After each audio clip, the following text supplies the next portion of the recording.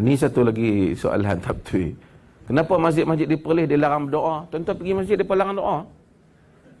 Ha? Ada orang doa. Orang berdoa di masjid. Ihdinas siratal mustaqim. Apa maksud tu? Doa tu. Ada orang kata amin belakang. Amin. Ada? Doa tu. Tu doa. Lepas semayang tengok ada orang doa. Sendiri-sendiri tak? Hak buat cerita ni dia tak betul. Kan? Cuma kalau dia kata pasal apa tak ada ramai-ramai doa. Ha, itu cerita lain.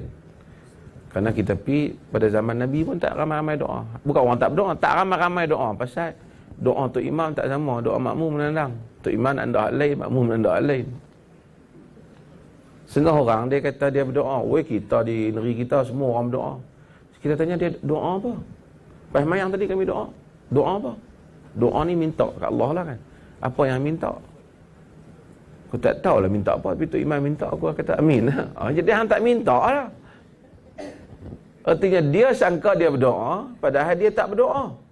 Sebab apa? Sebab dia tak minta, dia pun tak tahu. Tok Imam baca doa terkali pun dia tak tahu. Saya dulu saya pernah cerita, tempat saya dulu ada Tok Imam baca doa terkali. Tapi Tok Imam tu tua. Masa tu saya balik daripada Jordan, saya muda, saya tegur dia, dia tak terima pendapat saya. Dia baca Allahumma arinal haqqa haqqa warzuqna ijtinabah. Wa arinal batilan batilan warzuqna ittiba'ah. Dia baca terkali. Ya Allah tunjuklah kami itu yang benar yang ben, itu benar dan jauhli kami daripada yang benar.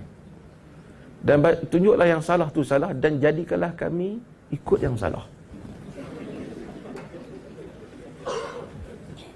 Anak makmum di belakang dia amin amin amin semua doa amin.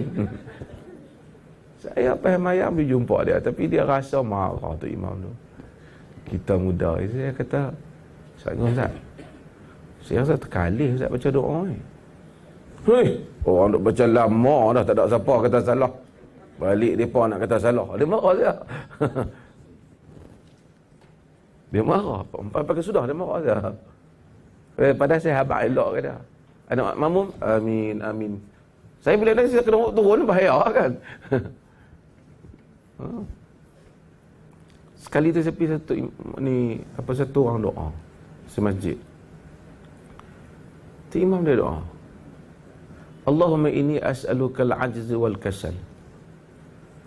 Sebenarnya baca Allahumma inni a'udzubika minal hammi wal hazan wa a'udzubika minal 'ajz wal kasal.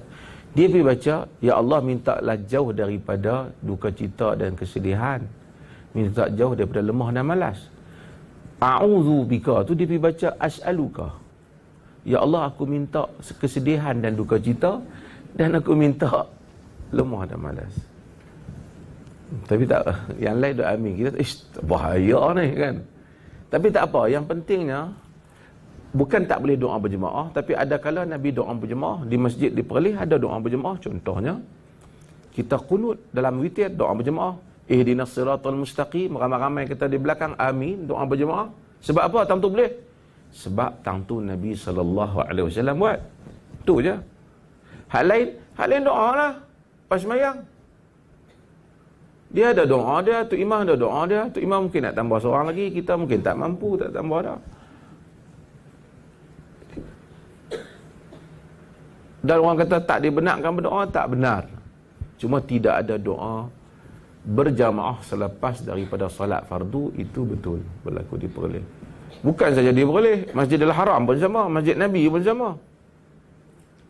Semua masjid-masjid dan dunia ini ram kebanyakan benda yang sama. Hmm, cuma orang hak buat cerita tu tak betul.